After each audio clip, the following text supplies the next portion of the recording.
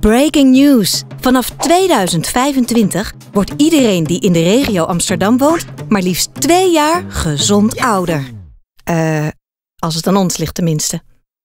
Bij de Amsterdam Economic Board werken we aan een slimme, groene en gezonde Amsterdam-regio. Op gebied van gezondheid is onze ambitie dat mensen gezonder oud worden. Want hoewel het prima lukt om een hoge leeftijd te bereiken, worden mensen ook eerder chronisch ziek. En daar willen we iets aan doen. Door slim gebruik te maken van data en artificial intelligence. We creëren met z'n allen de hele dag door data.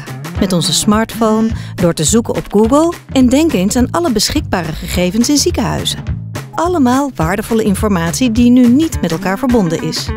Door kunstmatige intelligentie en medische kennis te combineren, kunnen we ziektes sneller in kaart brengen, sneller ingrijpen en sneller genezen.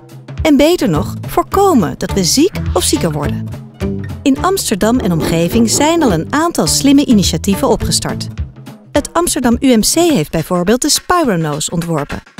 Door gebruik te maken van databases kan deze elektronische neus longziektes ruiken in de lucht die je uitademt, al voordat je symptomen hebt. En Startup PacMed ontwikkelde slimme algoritmes die de huisarts helpen bij het kiezen van de juiste antibiotica voor patiënten met een urineweginfectie. Mooie voorbeelden van hoe wij de toekomst voor ons zien, met zorg op maat, waarbij mensen steeds beter zelf de regie kunnen voeren over hun gezondheid en langer gezond blijven. Een gezonde toekomst realiseren kunnen we alleen door samen te werken met de overheid, kennisinstellingen, zorgverleners en het bedrijfsleven. Wil je ook meedoen en bijdragen? Neem contact op met Jeroen Maas.